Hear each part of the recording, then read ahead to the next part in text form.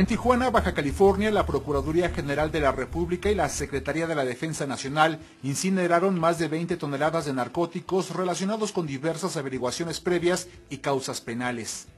Lo incinerado incluyó 19 toneladas de marihuana, 417 kilos de metanfetamina, 11 kilos de cocaína, 17 kilos de heroína, 3 kilos de goma de opio y 400 psicotrópicos.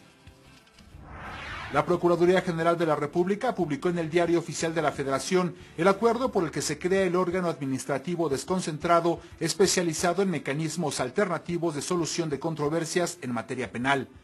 Este nuevo órgano es la instancia responsable de la aplicación de los principios, bases, requisitos y condiciones de los mecanismos alternativos de solución de controversias en materia penal. En cumplimiento al tratado de extradición firmado entre los gobiernos de México y los Estados Unidos de América, la Procuraduría General de la República entregó a dos fugitivos buscados por la justicia norteamericana.